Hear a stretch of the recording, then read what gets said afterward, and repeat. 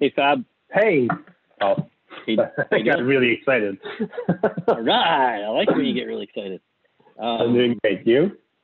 Good. So Fab and I were just talking offline before, and we want to do some series. Um, we want to do a, a series. Uh, we're going to go much more in depth on how to set up your CRM. Um, and before you go there, Fab, and I, I kind of know you're going to agree with me, but we'll talk about it anyways.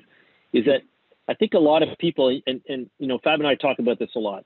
A lot of people have a CRM, uh, and they just don't know how to use it.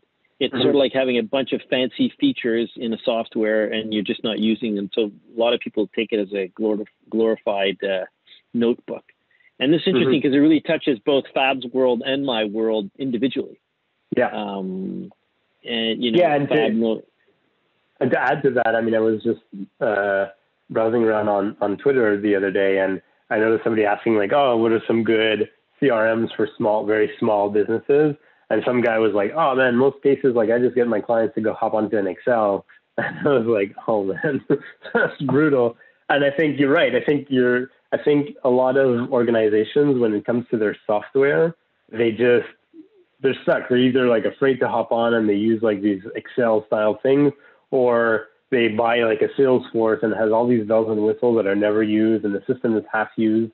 And they kind of forget that your your software in our case in this case the CRM is really there to help you like help you make more money like help you grow your business. It's not like a must have well I guess we need a CRM so we'll hire one and that's it. Yeah and I think the and, and you know I know you agree with me because we've talked about this before but if you don't have a proper sales process that is personalized to what you're doing, the CRM will be clunky um, mm-hmm. because the CRM needs to follow your sales process to be a really useful tool to your salespeople. You know, mm-hmm. so quickly, you know, if your sales process is, you know, if you're selling widgets and your sales process is make a phone call, have a conversation with the person, call them back two weeks later, whatever it might be, I'm making up some crazy sales process. Well, if that lives in your CRM, then the people follow it and it makes sense. Whereas mm-hmm. what some people do say, okay, I'm going to use the CRM, their sales process, and they're like, well, this is different. They end up taking notes and it's not clear. The semantics, the language is not common with each salesperson. Uh, they still use some of their old tools. I've said this before, but in a, a company, a prior company of mine, we had we had Salesforce, mm-hmm. which we were supposed to use. And we had the old system of Excel sheets, like you just said, Excel spreadsheets. Yeah. And we had to do those in parallel for a year. Well, how do you think salespeople feel about that? Oh, so you're yeah. asking me to do double the work for absolutely no reason to me.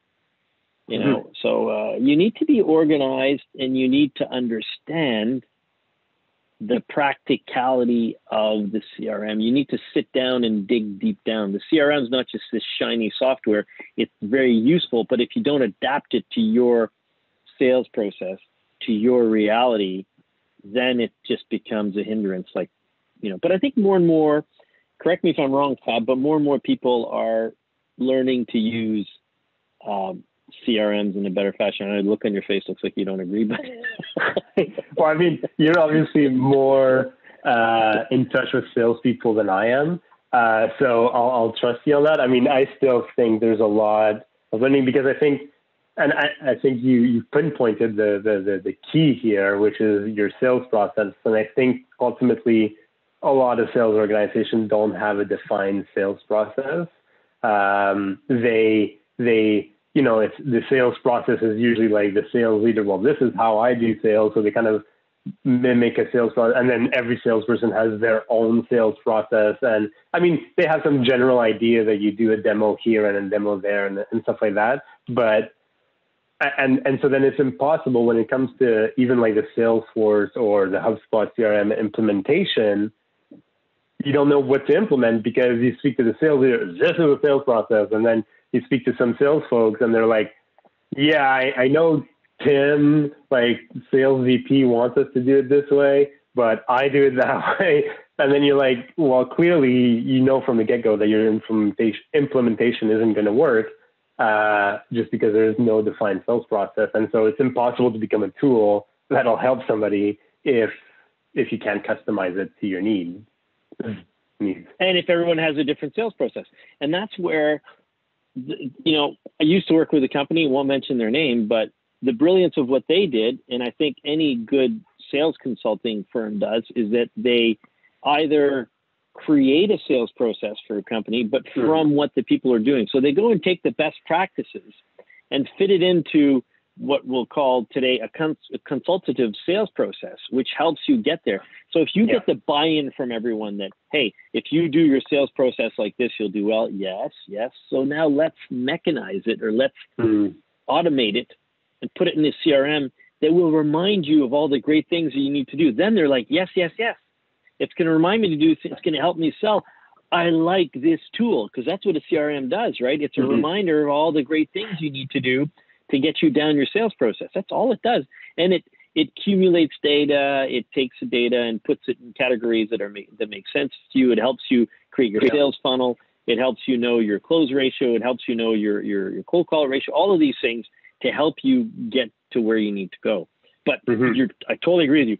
Sales process first, and understanding or, or, or formulating the sales process from the best practices of your team, but also linking it to a really good consultative sales process. If you're if you're you know most B2B businesses, you know if you really are selling a commodity, then there's some consultative sales, but it's really you know if it's all about price, well then you might have a different sales process, but that needs mm-hmm. to be mm-hmm. in there as well.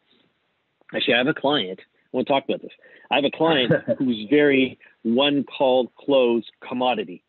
Nice. And you know, when we try to get consultative, it's, it's like it, it, it, it's very thin consultative. It's more relationship building and and making the, the, the potential client realize what the upside are. But it has a different approach than, than typical consultative sales.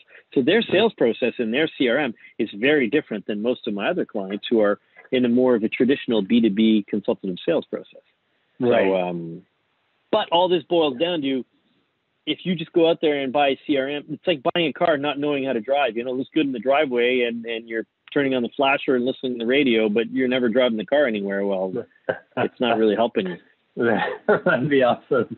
Um, yeah, and, and I think ultimately, obviously, like I, uh, I'm more on the marketing side of things, clearly, but you know, and I think because I think like a bad CRM implementation has more impact than than a lot of leaders, sales, uh, business leaders might expect. So they're like, initially it's seen, oh, this is a sales tool, right? So sales does it. So then I've seen a few things happen. I have to one, interrupt here because yeah. there's a question I want to ask you.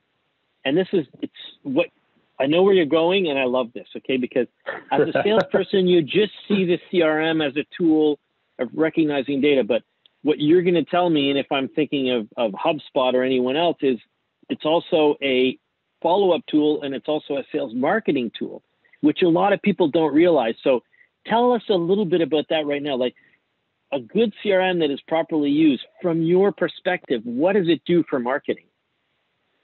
Well, that's it. And, and so marketing, you know, like there's a lot of what I'll call the golden rules of marketing, but you know, one of them is that you have to personalize a lot of your in, offen- uh, offensive, sound good, a lot, a lot of your initiatives, right? And so if if my database is all a mess, I don't know who sales actually is talking to. I don't know where they're at in their sales process. I don't know, am I allowed to reach out to them? I am not allowed to. Then it really hinders marketers in terms of being able to help the business generate revenue, right? Because if I can't nurture my leads because I don't know which ones are leads and which ones are contacts, like in a Salesforce. So let's slow reference. down a second because right now you and I understand that you know your CRM is going to help you nurture the leads, but let's say for the, the, the person who's jumping on our podcast for the first time and they don't they're saying, hey, wait, hold on, I thought a CRM was just to take notes to understand where I'm going. How is it connected to the lead generation? Can you just explain that connection, Fab? Just explain that link of what how the CRM is also going to help you with lead generation. Well, because the if or you think about it, lead, sorry. Yeah. So if you think about it, right, like a, a sale, like how how you close business, right? You, there's usually two sources of leads. There's anything that's sales generated, you know, your prospecting, your referrals, your stuff like that. That that lives in the CRM. But there's also all your marketing initiatives, right? So all the webinars you're creating, the social stuff you're doing, uh, the blog posts you're creating, the podcasts you're doing, all that ends up generating leads. And so they need to they need to be able to port it into the CRM so that salespeople are starting to able to identify, oh, I got a new hot lead from from marketing and stuff like that. So if your two systems are separated and the two systems are a mess, the salesperson's not going to know. And then all of a sudden, I'm going to be like, hey, Paul, why didn't you reach out to to Melissa? Like she's hot. Like she's been downloading our stuff. She's active to to sales. Like, oh well, I never even saw Melissa because she's like in my my CRM is such a mess that it's all over the place. And that's that's one way. And then the other way, which I know we haven't talked a lot about before, um, is marketing and maybe more product marketing can help salespeople where, you know, like let's say, you know, your lead goes from stage one to stage two to stage three, but then fails to go to stage four. You know, like if you have a well oiled CRM, um, you're able to then send that lead back to marketing. But marketing will do a different type of marketing with it because it knows that that lead has already gone through the first three stages of the sales process. But if you don't know that and you're somehow flagging it as not as dead, well, marketing doesn't know what to do with it. Why is it dead? Is it dead because it ignored you? Is it dead because it told you no? Is it dead? Does it go with, you know what I mean? So the more this thing can be up to date, the more it helps the business generate revenue mm-hmm. and ultimately even the salesperson get more commission, right? Because yep. if I can reactivate a lead that was quote unquote dead, well, that's more commission for me at the end of the day. Yep. Yep. Well, th- that's great. Great explanation, Fab. I mean, it's good. Yeah. So I think, you know, let's leave it at here for today because I think we've explained the beauty of a CRM uh, from a very traditional sales perspective and also in a, a nurturing perspective. And I, I really like your idea. In, in future sessions, maybe we'll go a little bit more into the stages and, like you said, where you plug in the nurturing. And if you do it properly, how it becomes a real tool that is much more than just a note taking device for a salesperson or um, what people used to think originally 10 years ago about CRMs, which is, you know, the way Big Brother uh, looks over you. It really becomes a tool to help you in your business.